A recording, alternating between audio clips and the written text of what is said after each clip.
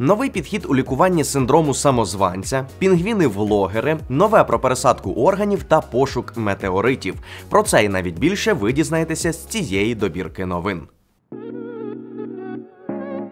Почнімо з чогось візуального. 20 січня до Дня обізнаності про пінгвінів природоохоронна організація WCS опублікувала відео полювання пінгвіна Дженту від першої особи. Камеру закріпили на одному із самців, а потім без наслідків для нього зняли. Мета дослідження вивчення екології харчування, як їх ще називають пінгвінів-шкіперів, та порівняння їхніх харчових звичок з іншими пінгвінами. Для науковців стало відносно несподіваним те, що пінгвін полював у товщі води, адже вважається, що його основний підхід це пошук здобичі біля дна. І хоча дослідники і раніше припускали, що пінгвіни не оминуть цілий косяк риб своєю увагою, тепер у них є наочне підтвердження цим здогадкам. Цікаво, а якби камеру начепили на когось із нас, чим би ми здивували науковців? Пофантазуйте у коментах. А якщо просто хочете підтримати відео коментарем, можете написати Чекаємо пінгвінів на Ютубі.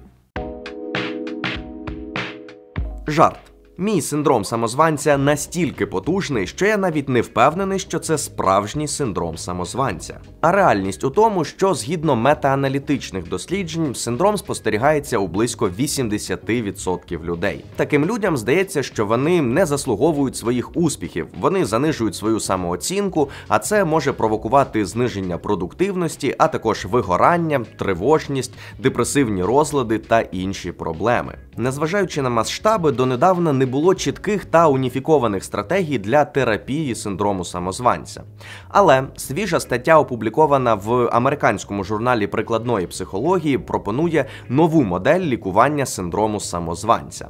Зауважу, що це стаття передусім для психологів та психотерапевтів. Тому, якщо мене такі дивляться, обов'язково ознайомтеся з цією роботою. Посилання на неї, як і інші першоджерела, ви знайдете в описі. Якщо ж коротко, то новий підхід полягає у спробі за допомогою схемотерапії подолати так званий імунітет до змін. Так називають внутрішній, переважно несвідомий супротив змінам. Загалом я не дуже люблю, коли біологічні терміни доволі вільно використовують в інших галузях, але мушу визнати, тут аналогія доволі точна. Імунітет до змін це саме захисна реакція, яка оберігає нас від наслідків критичних змін. Але як це трапляється із справжнім імунітетом, реакція може бути надмірною, що не йде нам на користь. Фактично, поступова деконструкція елементів цього захисту і лежить в основі підходу. Але якщо ви очікували почути більш практичну інформацію щодо боротьби з синдромом самозванця, то є і таке. Як часто буває, поради виглядають доволі банально. Радять, по-перше, прийняти і усвідомити проблему, співставити свої відчуття з реальними фактами, нагадати собі про свої успіхи та вчитися святкувати їх, ділитися своїми успіхами, своїми невдачами та емоціями щодо цього, вчитися щиро співчувати собі і намагатися побороти перфекціонізм. Стратегії загалом зрозумілі, а реалізуєте ви їх самостійно чи з психотерапевтом залежить від багатьох умов. Ну і сподіваюся, що фахівці звернуть увагу на згадану статтю та імплементують методику у свою практику. Хочу розповісти вам про комп'ютерну школу Гілель. У школі чотири філії: Одеса, Дніпро, Харків, Київ, плюс навчання онлайн. У школи більше 25 тисяч випускників. Заняття проходять у зручний час увечері у групі до 14 студентів. Також є бонусні заняття з англійської мови. А після завершення навчання студентам допомагають у працевлаштуванні. У школі викладають лише it фахівці які працюють у світових it компаніях Крім викладача, у групі є ментор, який допомагає студентам у виконанні домашніх завдань. У школи власна система особистих кабінетів, куди підвантажуються всі відео із занять, а також домашні матеріали та корисні доповнення до занять. У Гілелі є курси з програмування, Java, фронтенд та інші напрямки, тестування, QA, менеджменту та рекрутингу, маркетингу та дизайну від основ до просунутого рівня, а також дитячий напрямок. Деталі за посиланням в описі. Гілель, навчайся і втілюй мрії. Якось вже так виходить, що без новин про трансплантологію не обходиться майже жоден випуск новин. У минулій добірці я розповідав вам про пересадку серця. А ще раніше, восени 21-го року, про пересадку нирки. Тоді нагадаю, людині з померлим мозком приєднали одну нирку від генно модифікованої свині, але при цьому нирка знаходилася поза тілом. Цього разу медики пішли далі. Дві донорські нирки від ГМ свині були пересаджені людині з померлим мозком таким чином, як би це відбувалося в умовах реальної операції. Відпрацьовувався весь ланцюжок подій від логістики отримання органів до власне операції. До речі, свиня донор мала ті ж самі генетичні зміни, що і у випадку пересадки серця, що, як ви розумієте, добре, адже органи однієї тварини потенційно зможуть врятувати декілька життів. Цього разу ще більш детально були оглянуті донорські нирки. Вони були дуже подібними до людських, але мали і відмінності. Були м'якшими, мали більш тонке зовнішнє покриття, а сечоводи в діаметрі були дещо більшими за людські. Ці всі нюанси конче важливі для вдосконалення хірургічної техніки. Після пересадки команда спостерігала за функціонуванням нирок протягом трьох днів. Як і раніше, не спостерігалося відторгнення органів. Також науковці не знайшли слідів ендогенних ретровірусів свиней. Це такі віруси, генетичні залишки яких можуть бути присутні у ДНК свиней та створити проблеми у реципієнта, тобто у того, хто отримує донорський орган. До речі, ендогенні ретровіруси є і у людей, ба більше їхня частка в нашій ДНК може вас здивувати. Детальніше розказував у відео за підказкою. Донорські нирки активно виділяли сечу, але права набагато більше, ніж ліва. Точні причини невідомі, але можливо це пов'язано з тим, що ліва нирка під час отримання дещо довше пробула в умовах кімнатної температури.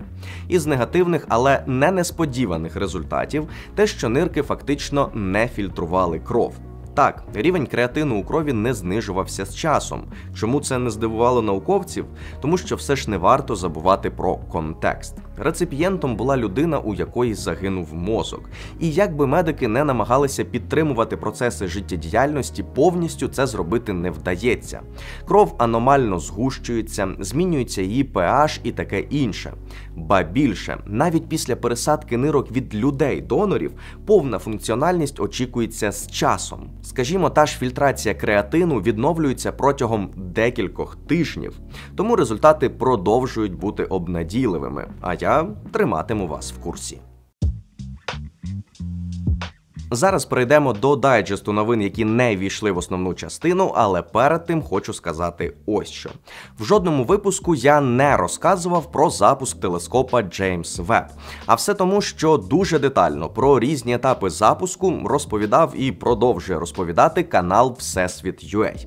Я вже колись радив вам цей канал, але зараз буквально не можу натішитись успіхами колеги, тому раджу ще раз. Це не реклама, я не рекламую наукпоп канали на комерційній постійній основі, лише раджу тоді, коли вважаю за потрібне. Посилання на всесвіт UA залишив в описі. Обов'язково зацініть відео про телескоп Джеймс Веб і не тільки. А тепер дайджест. В тирсі знайшли сполуки, які мають дезінфікуючі властивості. Тирсу виварювали у воді, а потім фільтрували. Отримана речовина була здатна знищити низку бактерій та вірусів, звісно, за умов певної концентрації. Ми з вами вже знаємо, що поспішати з висновками не варто, але якщо ми таки отримуємо ще один варіант антимікробної речовини, це було б непогано. Про всяк випадок скажу, що це не означає, що треба пити відвари з тирси чи натирати ним руки замість мила. Якщо з цього колись зроблять антисептик, тоді і почнемо. Витирати руки, не пити. Хочете знайти метеорит в Антарктиді? Для вас є підказки і навіть мапа з позначками 600 потенційних точок падіння. Отримані вони були за допомогою машинного навчання. Алгоритм навчили розпізнавати і аналізувати своєрідні зони скручування, які виникають на поверхні, коли льодовиковий щит зіштовхується з якимось підвищенням. Таким чином, ближче до поверхні виносяться, зокрема, залишки метеоритів, поєднавши дані про рух та товщину льоду, температуру та форму поверхонь, відомі зони скручування та інші дані, науковці за допомогою алгоритмів визначили 613 ймовірних точок і розробили інтерактивну мапу для інших дослідників. Тепер лишається лише перевірити на практиці точність цього алгоритму. А от що точно відомо, так це те, що мій канал не був би таким, як є, без вашої підтримки. Щира подяка тим, хто дивиться, хто ставить вподобайки, хто коментує, хто поширює. Це все дуже важливо для каналу і дуже приємно для мене. Окремо, я надзвичайно вдячний тим, хто підтримує канал фінансово на Патреоні або донатами на картку. Моє обладнання, локація для знімання та багато іншого стало можливим виключно завдяки вам. Ви найкращі. Війти в когорту найкращих можна за реквізитами в описі. Дякую всім за перегляд. Мене звати Артем Албул, і я клятий раціоналіст. Science. Ту-ду-ду-ду. Science.